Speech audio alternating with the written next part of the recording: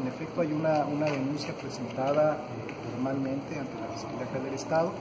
Esa se está investigando, se tendrán que reunir los elementos y conforme a derecho se tendrá que resolver, pero se está investigando. ¿Se descarta entonces una justicia selectiva en materia de la persecución de los delitos de corrupción? En efecto, no hay justicia selectiva, por el contrario, aquí tenemos una enorme responsabilidad nosotros a colores ni a tiempos políticos. ¿Cuándo serán, serán citados a declarar los exdiputados de la actual legislatura que han sido señalados en las investigaciones que se han especializado, hemos estado en las audiencias, que recibieron posiblemente este, más de un millón de pesos por la utilización de 12 mil millones? Lo triste es que hoy están en las boletas electorales esos legisladores. ¿eh? Esa es la gran importancia que tiene el tema. Señor fiscal, disculpe que lo interrumpa. Vengo de su oficina. Me dijeron que estaba fuera de la ciudad, fíjese. Qué buena, qué buena suerte tiene el que no se baña. Eh, mucho gusto, soy Fernando Tiscareño, a sus órdenes. domingo hizo favor, presentamos una denuncia, se, ya se está integrando, se informó al Ministerio Público, se incorporó a la anterior denuncia que ya existía, porque son exactamente los mismos hechos, y como lo hemos venido diciendo, se seguirá integrando se a través de un enorme eh, valor que tuvo un medio de comunicación, lamentablemente ninguno de la ciudad, pero sí en Ciudad Juárez, nos damos cuenta que Maru Campos, el secreto a voces, es quien recibió de parte de César Duarte a través de esa nómina secreta que el señor gobernador nos hizo saber desde mayo del 2017 y según el testimonio de García Chávez, también otro hombre valiente que ha enfrentado a la injusticia de la actual y de la anterior administración.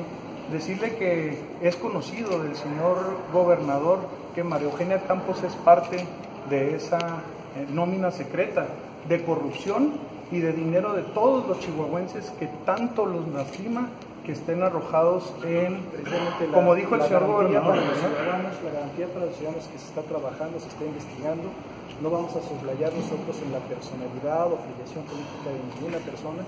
Nosotros vamos a investigar, tenemos la autonomía técnica suficiente para poder resolver cada una de nuestras investigaciones y así lo seguiremos haciendo Hay un- en base desde luego a las evidencias. Sí, señor, muy bien. Pero hay un mal sabor de boca ahorita en los chihuahuenses, que fue la bandera de justicia que vino a plantearnos como candidato el hoy ciudadano gobernador Javier Corral, y que sí se encuentren por esos nóminas secretas, ocultas, gente procesada de la anterior administración emanada del PRI y que nadie del PAN ahí señalada que nos evidencia, nadie del PAN está ahorita haciendo integrando carpetas de enfrentando la justicia, ¿eh? Se han logrado ya muchas órdenes de aprehensión, se tienen ya muchos bienes asegurados. Es una tarea, una tarea muy compleja. ¿Por qué? Porque lamentablemente los hechos de corrupción en la anterior administración fueron demasiados.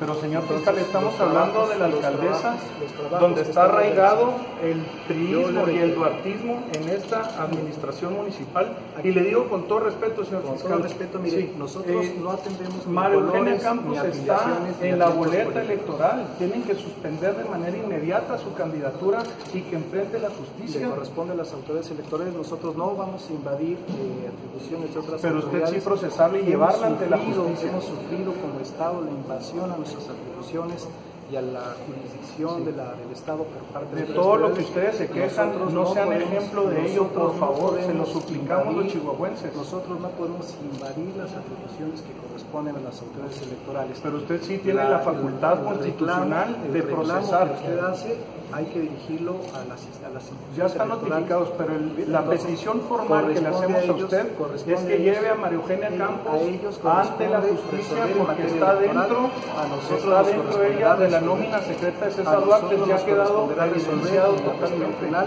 Nosotros vamos a resolver, como ya lo dije, y conforme a las evidencias, conforme a derecho, y el tema electoral, pues lo tendrá que resolver las instituciones electorales.